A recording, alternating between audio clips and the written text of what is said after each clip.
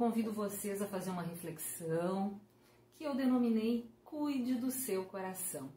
Conselhos da nossa querida Joana de Ângeles para termos um caminho mais leve, alegre e amoroso.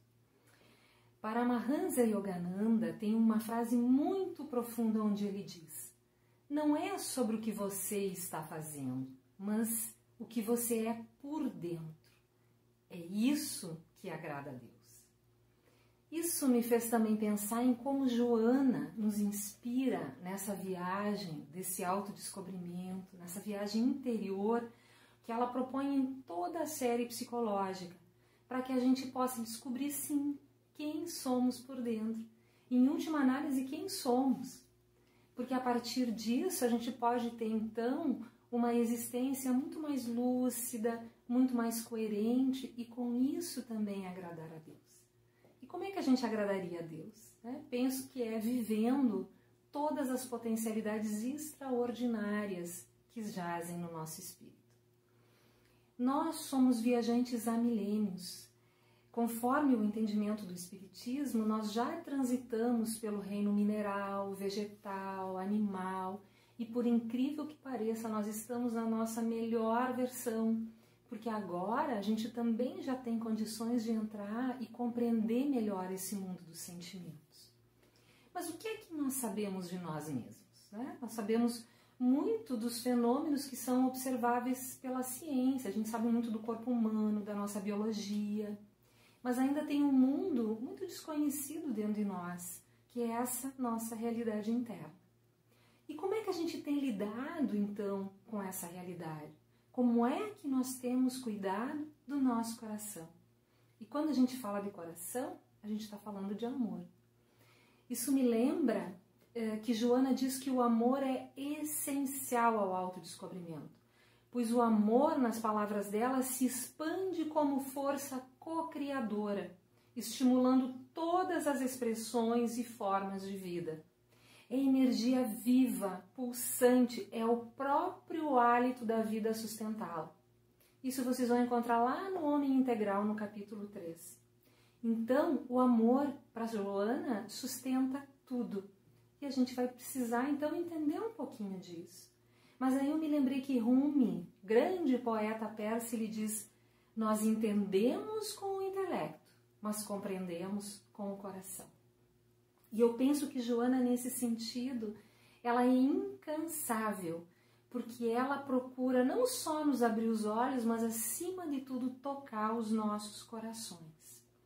E é com essa, nessa energia da benfeitora que a partir do livro Jesus e Atualidade, eu selecionei dez frases dela que estão nessa obra que eu entendi e acolhi como conselhos que ela amorosamente nos traz para que a gente possa olhar para esse mundo dos sentimentos. Né? O primeiro conselho: enfrenta os desafios da vida serenamente. A serenidade ela tem a ver com calma, com tranquilidade. Nós sentimos essa serenidade na presença de Jesus. Ele era sereno diante dos desafios que ele teve que, que, que enfrentar. Então, um coração sereno é capaz de ponderar, de agir sem ser movido por uma impulsividade. Um coração sereno está em paz com a vida porque sabe que tudo provém do Pai. Então, por que, que nós ficamos tão perturbados? Joana nos aconselha: segue o Mestre e nunca te detenhas antes os desafios para o seu crescimento espiritual. Número 2. Não te crucifiques na consciência de culpa após reconheceres o teu erro. Não te amargures em demasia, descobrindo-se equivocado. Olha que profundo que ela está nos aconselhando. Não vamos sobrecarregar o nosso coração com picuinhas, com ressentimentos, com culpas. Isso não faz bem e impede, inclusive, o fluxo amoroso. A amargura ela tem a ver com aflição, com conflito. A gente não tem necessidade de permanecer nesse estado. Após a consciência né, que nós temos de que nós nos equivocamos, e nós nos equivocamos muito e vamos ainda nos equivocar muito ainda, Vamos então manter a serenidade, porque a vida, a vida é pródiga e nunca vai faltar oportunidade para nós repararmos aquele dano que a gente causou. 3. Tem compaixão de quem cai e ajuda aquele que tomba. A compaixão, gente, ela é o contrário da frieza, da dureza, da indiferença. Todos esses sentimentos produzem a, a secura no coração. E um coração seco, assim como um solo seco, não produz frutos. Então a compaixão ela tem essa capacidade de dulcificar o nosso coração. Ela inunda o coração de nutrientes e cria um campo onde qualquer diferença pode ser superada. Quando a gente se abre para a compaixão, a gente pode pensar que nós estamos ajudando o outro, mas a gente não se dá conta que é o nosso próprio coração que está sendo nutrido. 4. Entra em ti mesmo e ausculta a consciência, o teu guia íntimo, a fim de saberes o que pretendes, o que é melhor para ti e como conquistar. Escuta o teu coração, ela está dizendo, presta atenção no teu mundo íntimo. Nessa postura de escuta atenta, tenha a coragem de eleger o melhor para ti. Isso é o que Joana chama de honra. Ela tem um capítulo inteirinho no Jesus e Atualidade sobre honra, belíssimo. Jesus, como ele estava em profunda conexão com o Pai, ele teve a honra, ele teve a coragem né, de eleger e viver tudo aquilo que ele se propôs em favor de nós. Então, ela nos convida, vamos honrar nossa encarnação, vamos escutar o nosso mundo íntimo, o nosso coração, o nosso chamado, entender o nosso daimon e a gente então dando um sentido mais profundo para a nossa existência e não apenas vivendo um script que foi escrito pelos outros. 5. Jamais permaneças inoperante em um lugar já conquistado identifica as possibilidades aí vigentes e segue adiante. Então, para Joana, a vida é um fluxo constante e o amor ele quer se expandir porque é da natureza dele. Então, a gente não deve ter receio de seguir adiante. Como diz a Joana, a gente nunca deve cessar de crescer interiormente. Agora, o amor ele vai demandar conexões, ele não fica em si mesmado dele mesmo. E por isso a Joana nos adverte para a gente não se deter demasiadamente em comodidades que podem nos aprisionar. Né? Não ficarmos na nossa zona de conforto daquilo que já conquistamos. 6. Tem coragem de viver. Não te escondas da vida. Enfrenta com naturalidade os teus limites. Para Joana de Ângeles, coragem não é impulsividade a coragem é uma força do espírito. Então, um coração corajoso não é aquele que não tem medo. Não, todos nós temos. Mas é aquele coração que é capaz de seguir adiante, de superar o medo, pois ele confia. 7. Faz a parte que te diz respeito e não desfaleças na conquista dos objetivos que parecem distantes. Então, Joana nos diz que cada pessoa tem um compromisso na vida e com a vida.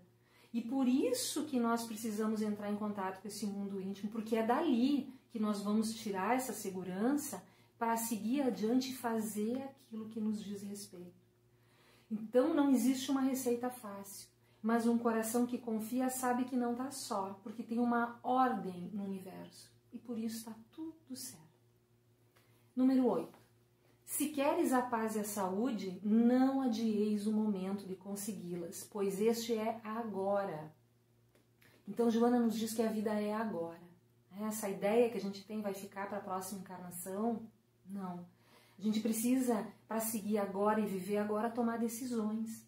E é óbvio que todos nós temos dúvidas, é óbvio que todos nós temos medo. Mas ela diz assim: apela para Jesus com firmeza, confia, e aí ela diz mais adiante, né? Que crer e confiar tem a ver com uma decisão que envolve maturidade emocional.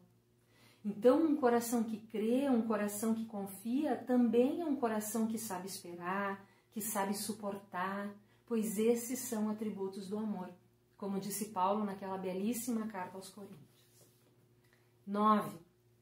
Não te preocupes com os ingratos dos teus caminhos de amor, prossegue ofertando luz sem te inquietares com a teimosia da treva, Pois onde acendas uma lâmpada, a claridade aí derramará dádivas. O que, que ela está nos dizendo? Não ocupa teu coração com ingratidão. Compreende que só cada pessoa só pode dar aquilo que ela consegue naquele momento. E nós não podemos impor ao outro uma consciência que ele ainda não tem. Jesus já nos dizia, né? Não se turbe o vosso coração, quer dizer, não te perturba. Cada coisa está no seu lugar e aceitar o que aparentemente para nós é uma ingratidão, aceitar isso com naturalidade também é confiar que cada um está no seu caminho e a gente dá o direito do outro trilhar o caminho dentro do tempo dele, porque nós também estamos trilhando o nosso no nosso tempo. E por último, número 10, permanece aberto à renovação, à diversidade, à tua identidade. Então, gente, nós temos um compromisso conosco mesmo. Né? Por isso, mestre, toda vez que alguém vinha pedir ajuda, pedir alguma coisa para ele, ele dentro desse profunda compreensão dessa psicologia, ele como o maior psicoterapeuta que já existiu, ele sempre levava a pessoa a assumir a sua parte. Né? que queres que eu faça por ti? Então, ninguém pode assumir um compromisso que é meu. Né?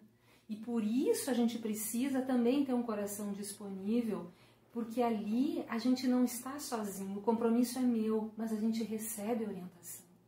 Como diz a benfeitora, no Amor Imbatível Amor, enquanto a razão é fria, lógica e calculada, o amor é vibrante, sábio e harmônico. Então, ter um coração disponível, aberto, também é um sinal de sabedoria, porque é uma profunda sabedoria no amor. Para finalizar, não poderíamos deixar de mencionar que Joana nos fala do amor-terapia, essa terapia que decorre do alto amor. Por isso, a gente precisa cuidar do nosso coração.